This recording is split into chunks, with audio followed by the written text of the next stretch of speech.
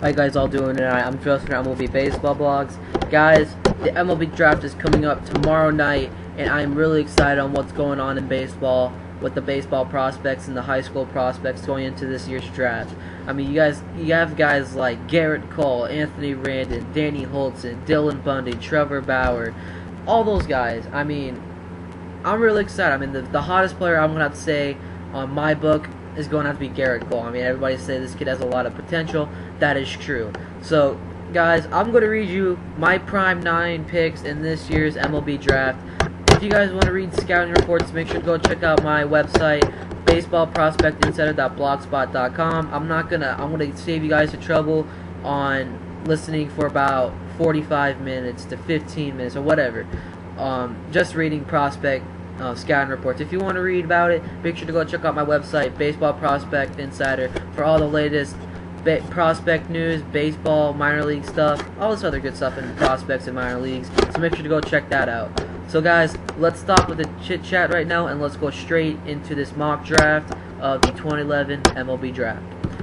With the first pick in the MLB draft, Bud Selig will be announcing that the Pittsburgh Pirates should be getting Gerrit Cole, right-handed pitcher, out of UCLA. I mean, Gerrit Cole coming into this Pittsburgh club, I'm going to have a lot of hype around this kid. I've been having a lot of hype around this guy for the past three or four months. I mean, this kid has just been terrific for UCLA. He didn't have the hottest outing in his last outing with the uh, UCLA Bruins, but he's still going to be the number one draft pick in this year's draft. I'm going to be so excited to watch this kid pitch. I'm most likely going to report it in his first MLB debut and minor league debut, I should say. So let's see what this kid can pull off in the Pittsburgh Pirates minor league system. Next up, guys, with the second round pick in the MLB draft, the Seattle Mariners will be drafting Anthony Rendon, third baseman out of Rice. Some of you guys are saying, how are the Mariners pulling this off so far this season? They're in second place in the West, in the AL West. I think this team's going to look for hitting right now. I mean, Anthony Rendon has just been terrific so far in, at the third base position at Rice.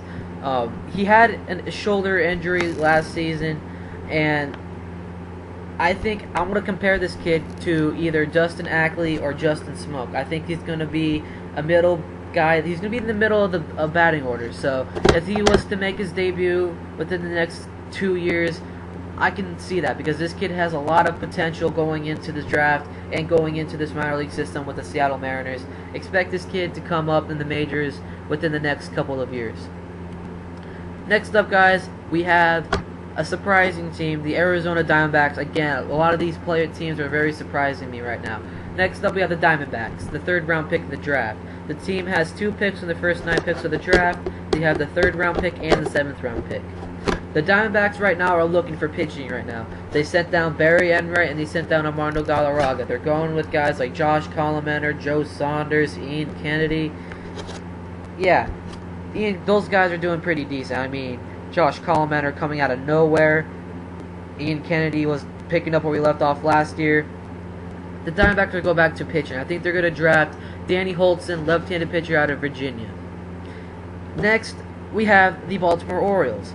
I had, if you guys were checking out our 30 Clubs 30 recaps, I had the Baltimore Orioles as one of the most improved teams in baseball and they're not showing it right now. I mean, Mark Reynolds acquirement, they got Vladimir Guerrero. I mean, who else? I mean, those are some great pickups, even though Vladdy's getting way older now. But their pitching has not been too hot. They've they have Jeremy Guthrie. I mean, they sent down Chris Tillman. Some of the guys on their pitching rotation by opening day are already down in the minors. They're going with a nice hot prospect, Zach Britton, right now. I'm really enjoying watching that kid pitch. So I think that the Baltimore Orioles will be taking a right-handed pitcher, Dylan Bundy, out of Owasso High School in Kansas City. I have a lot of hype around this kid. I mean, I saw some film, so I want to see how well Dylan will do with the Baltimore Orioles. Next up, we have one of the hottest prospect farm systems in Major League Baseball, the Kansas City Royals.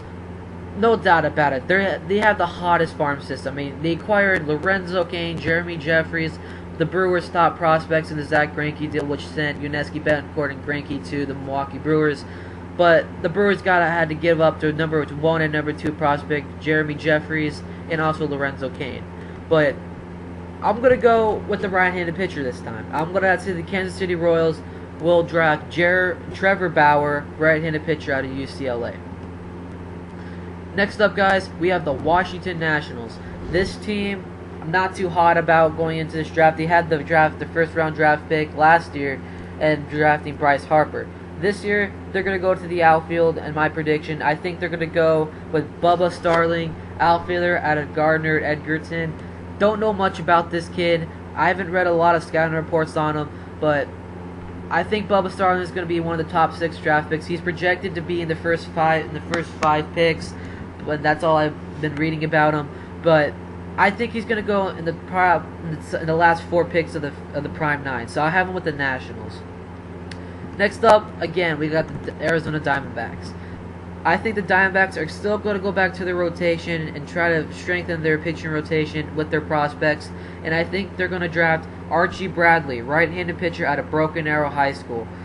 Don't know much about him. I've been reading a lot about these uh, right-handed pitchers who are being drafted, and a lot of mock drafts have Archie Bradley within the first last three picks of the first prime nine picks. So I think the Diamondbacks are going to draft Archie Bradley out of Broken Arrow High School. We're down to the last two teams. We have at number eight the Cleveland Indians, and one of the most surprising teams in baseball right now. I don't know how they're doing it. I mean, this team last year was already in last place. They're going hot right now. Justin Masterson's been good. Carlos Santana's been hitting. Asdrubal Cabrera, thank God he's not injured. I mean, Michael Brantley. I mean, this team's just surprised me a whole lot. I mean, I'm gonna have to go with their infield. I they're gonna draft an infielder player, and why not draft Francisco Lindor? I think I'm pronouncing his name right. Shortstop out of Monteverde Academy in Florida. I mean, this kid, he's been doing great in Monteverde Academy. I've been reading a lot of prospect stuff on him. Make sure to go check out the full prospect reports on my website, baseballprospectinternet.blogspot.com. I'm reading exactly off my website, so make sure to go check that out. So, going back to Francisco Lindor. Francisco Lindor, this kid been doing terrific with Monteverde Academy. I have a lot of hype that the Indians will probably bring this kid up within the first four years of being drafted. I mean, it's going to take time for him to be more in the major league and going back from high school to the major league, skipping out on college. But I think it's going to be either four or maybe a little bit higher. I mean, I don't know for sure on what the Cleveland Indians want to do, but I think this kid is going to bring his stuff to the Cleveland Indians farm system. And guys, to wrap up this mock draft, I'm going to have to go with the Chicago Cubs. They got the ninth pick in the draft. I'm going to have to go with Matt Barnes, right-handed pitcher out of University of Connecticut. I don't know that much about him. I have to be sure. I gonna have to. I've been reading a lot of mock drafts lately, saying that Matt Barnes was going to be in the first four or maybe in the first five picks in the draft. I don't think so. I think the prime nine pick of this of this of the uh, mock draft I just did, the Cubs will take Matt Barnes. For some notable players that are not going to be drafted with my prime nine, Matthew Purke. I had a lot of hype going around this kid. I enjoyed watching him in um, TCU. I think he's going to be drafted either by the Tampa Bay Rays in the later draft picks or possibly the Los Angeles Dodgers. So, guys, what is your prime nine draft picks going into the 2011 MLB draft? These are the prime nine teams with the prime nine picks. I'm Justin. I'll talk to you guys later. Watch the MLB draft tomorrow night on MLB Network, and I think you can watch it on ESPN. I'll talk to you guys later. Enjoy your day, and have a great week.